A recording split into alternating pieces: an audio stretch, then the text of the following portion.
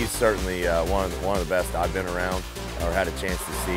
Miller drops back, fires across the middle field, has his receiver, touchdown Chaparral. There's just not too many guys that uh, that can throw the football like he does, and with the accuracy that he does it. First and 10 from the 17, down the sidelines, wide open, Devin Crawford. I feel like when I step on the field, I'm able to make any throw I want, and I can put the ball wherever I want, whenever I want. Jack, he's a beast. I don't really have to worry about knowing where the ball is. I know the ball's going to be right there. Makes my life a lot easier. I just got to go and make a play.